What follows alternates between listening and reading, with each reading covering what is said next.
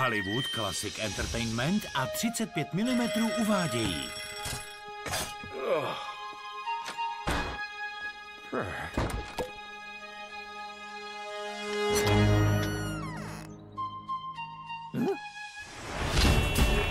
Už tento rok se ovečka Sean přesune na nové pastviny. Tvůrců Volise Agromita a Slepičího úletu.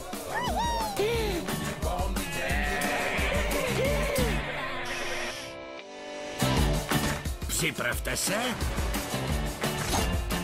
na velkou bláznivou jízdu městem s vaším oblíbeným stádem.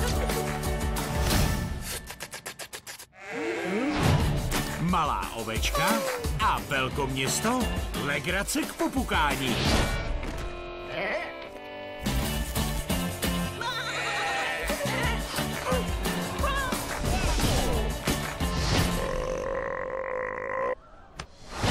Ovečka Sean ve filmu.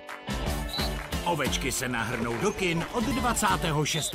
února 2015.